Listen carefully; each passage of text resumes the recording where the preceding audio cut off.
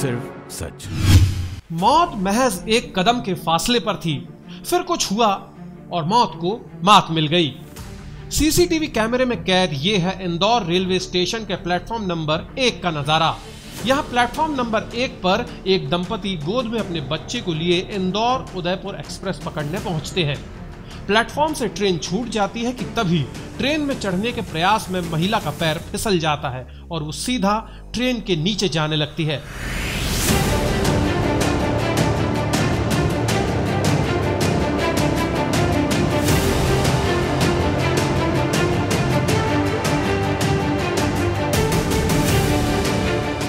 तभी बिजली की गति से पास खड़े दो मुसाफिर उसे खींच लेते हैं और उसकी जान बच जाती है।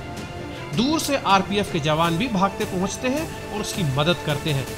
हालाँकि दोनों यात्रियों की तत्परता और बहादुरी से उसकी जान बच जाती है और एक बड़ा हादसा टल जाता है। ब्यूरो रिपोर्ट दत्रकाल मीडिया। सिर्फ़ सच।